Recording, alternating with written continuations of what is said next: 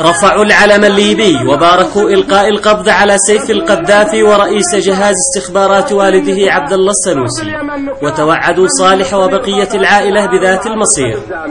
ثوار الضالع وهم يتوافدون من مديريات الحصين والأزارق والشعيب وجحاف لمهرجان حاشد بقعطبة كما هي مسيرة دم.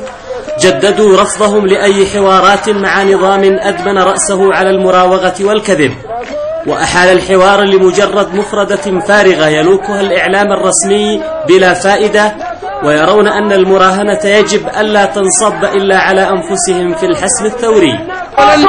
علي عبد الله الصالح هو يضحك على الجميع ويراوغ الجميع. ولا نحول من الآن وصاعدا على أي كان.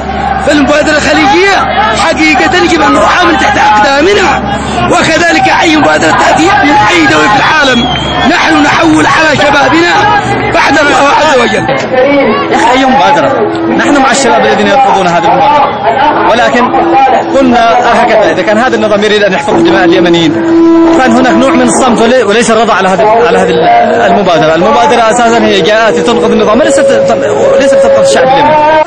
يعتقد أبناء الضالع أن محافظتهم تحتل طليعة المحافظات الأكثر تضررا من انقلاب صالح على شركائه في الوحدة.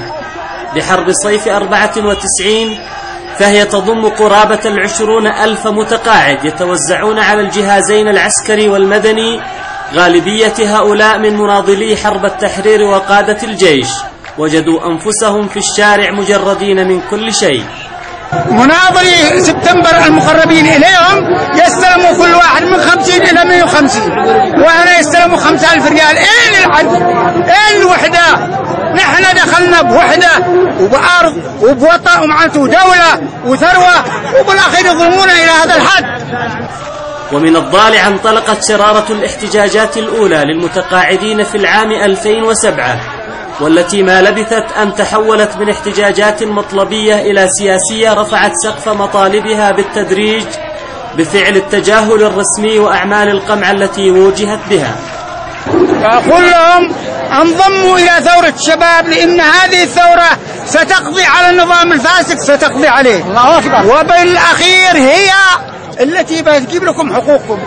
القضية الجنوبية وحرب صعدة والقاعدة وغيرها من رزايا وجراحات حاكها صالح كسياسة انتهجها في إدارته للبلاد على سبيل الحفاظ على الكرسي والبقاء في السلطة. ملفات شائكة ولكن الشباب يؤكدون قدرة الثورة على معالجتها وأعادة الأمور إلى نصابها. وفي مقدمة ذلك إعادة الاعتبار للوحدة المغدور بها وإيجاد حل ناجع وشامل للقضية الجنوبية بشقيها الحقوقي والسياسي.